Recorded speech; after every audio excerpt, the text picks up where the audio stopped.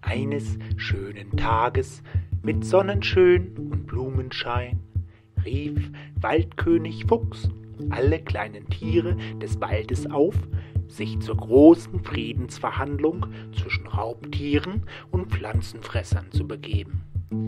Lang schon war verhandelt worden, doch eine große Konferenz mit allen Tieren hatte es noch nie gegeben.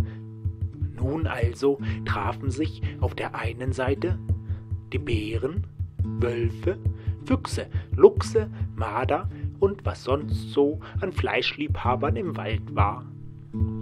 Auf der anderen Seite der sonnigen Lichtung versammelten sich die Hasen, Kaninchen, Hamster, Eichhörnchen und wer sich sonst so von Nüssen und Früchten und Salat ernährte.